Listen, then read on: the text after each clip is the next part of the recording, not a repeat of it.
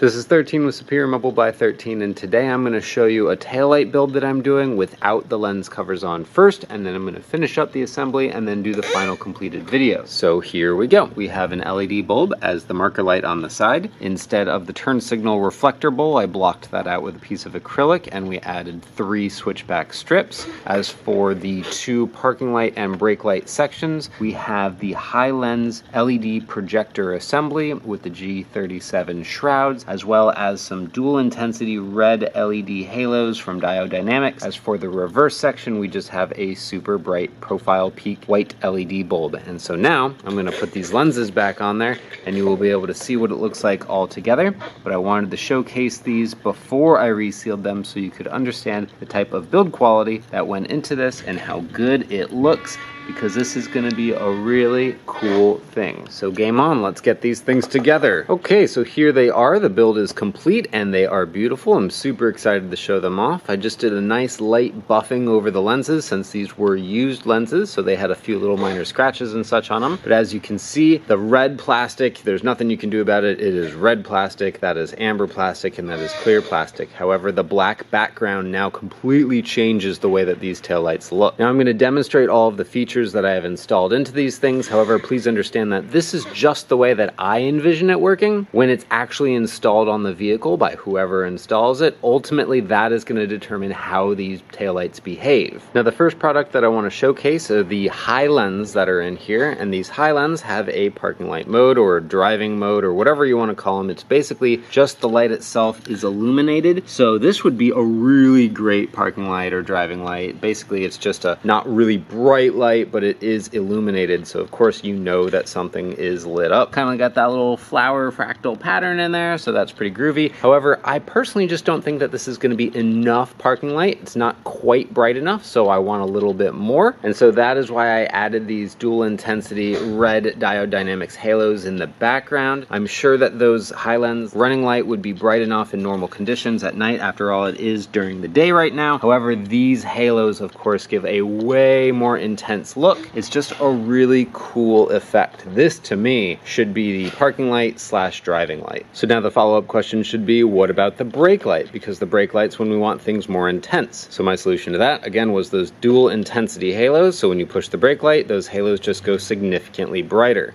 Brake light on, brake light off. Real simple, and real elegant. Now just for the sake of argument to illustrate my point earlier, perhaps he wants this as his running light and then he wants this as the brake light. Brake light off, brake light on, running lights on, brake lights and running lights on. It's totally up to him how he wants to wire it up. Personally, I like the other way, but it's not my vehicle, so he can do whatever he wants. Now, before I jump off the topic of these Hi-Lens, of course, remember that these are traditionally used as LED high beam supplemental projectors. So they do have the ability to do a stupid light output like so. This is really bright. Now what I'd really like to see him do is to have these wired up to an auxiliary switch where basically he can flip a switch and turn on the FU lights for anybody who decides that tailgating him is a good idea or anything similar to that. Alternatively, these could be wired up in the reverse light situation as well because they do cast out a pretty decent amount of light. However, if I was to share any concern, it would just basically be that these are designed to be in headlight housings that are well ventilated and have a lot of airspace to work with. Whereas in these assemblies, they're pretty tightly packed in there and there's no breather vents or anything on the backside of it. It basically just breathes into the cabin via the imperfect seals of the bulb holders. So I'm rather hoping that he doesn't necessarily use them as brake lights and certainly won't be using them as running lights because they're just going to be too silly bright. Just for reference, this is across the wall and we've got the two reverse lights going on right there. So